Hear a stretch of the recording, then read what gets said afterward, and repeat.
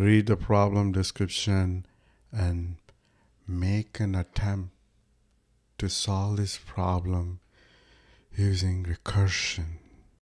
Now the funeral is over and all the tears are dried up. Niggas hanging deep on the cut, getting fired up. Looking for Okay, if you have made an attempt to solve this problem, To that I say, all right, all right, all right. let's work through the array sum problem. Size of the problem is n, where n is the length of the array.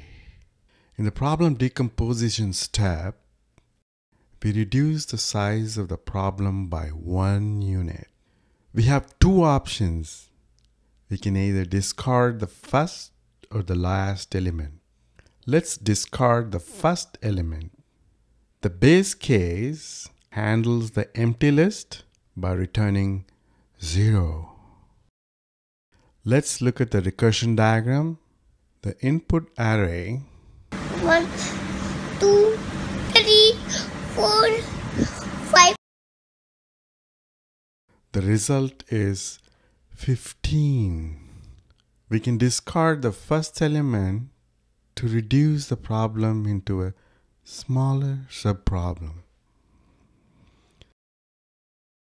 The result for the subproblem is 14.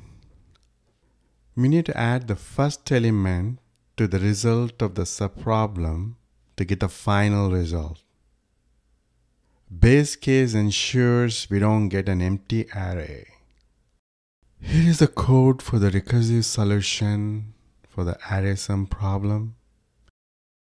We discard the first element to reduce the input size.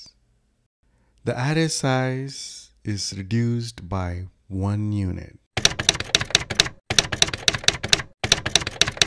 We can trace the execution of the program using a trace table.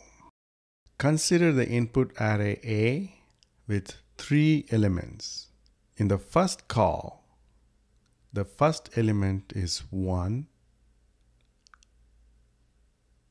and the array contains 1, 2 and 3. The index 1 to minus 1 discards the first element so the next call gets only two elements 2 and 3. The index 1 to minus 1 discards the first element, so the next call gets only one element, and the array contains 3. The index 1 to minus 1 returns an empty array.